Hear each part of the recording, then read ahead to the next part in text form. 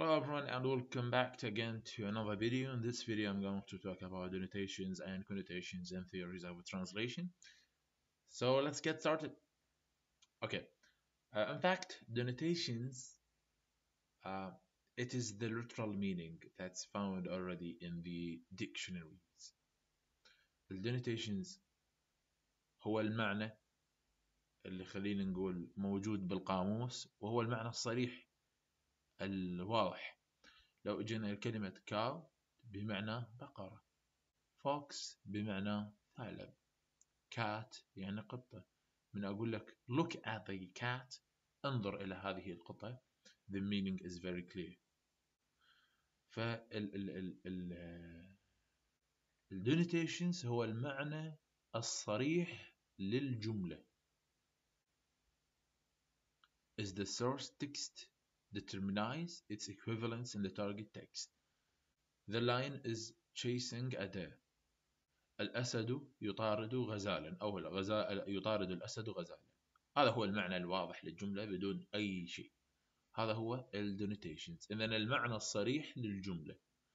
ننتقل الآن إلى شيء آخر يسمى ال connotations The connotation is connection is the shade of meaning. هو ظل المعنى. The hidden meaning.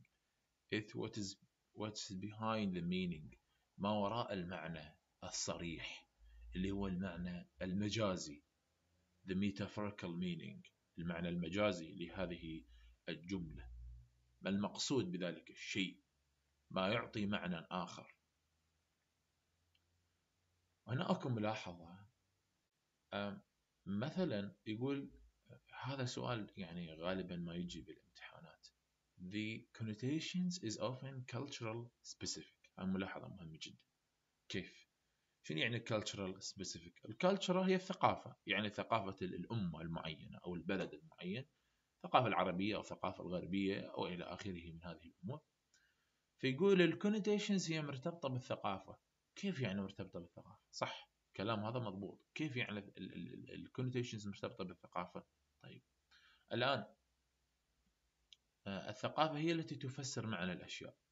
أنا إحنا يعني على سبيل المثال حتى نريد نوضح لهذا هذا الموضوع. for example على سبيل المثال عندنا حيوان البومة.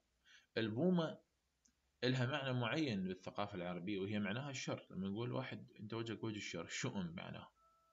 have the same definitions that point to the same class of birds, but the similarity there is all occurs in English literature as a symbol of wisdom بينما بالثقافة الغربية بمعنى الحكمة in Arabic literature it's even it's a daily use it is simplifies all women يعني الشر أو الشؤم أو الحظ السيء is like an owl كنا بومة يعني هو هو شر فإذا ملخص الكلام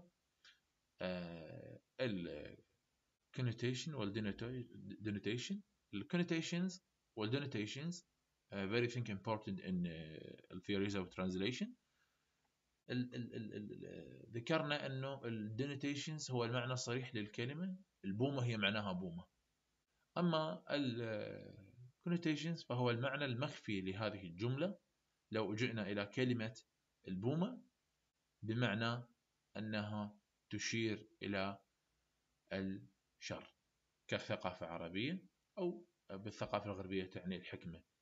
ال connotations هو ما وراء المعنى ولكن هذه ال connotations بنقطة مهمة أنه هو يعتمد على الثقافة يعني حسب ثقافة البلد أو حسب ثقافة اللغة المعينة.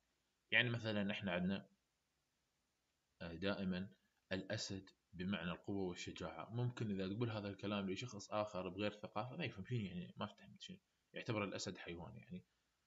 والكثير من هذه الأمور.